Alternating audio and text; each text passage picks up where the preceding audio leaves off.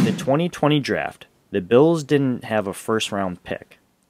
How many drafts in total have the Bills not had a first round pick? Oof. In history?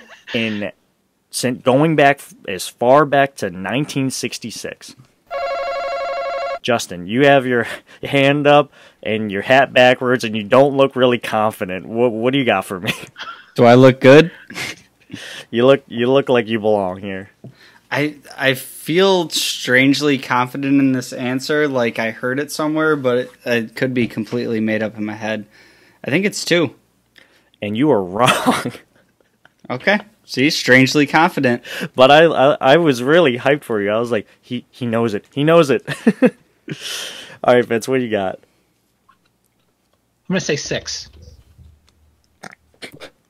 That's right. Come on. that is right. I want to I want to take credit and act like I knew the answer the whole time. Oh, but man. nah, that's shot in the dark. That is so funny. All right, Justin, you need the next five, uh, four questions in order to force the tiebreaker. Let's go.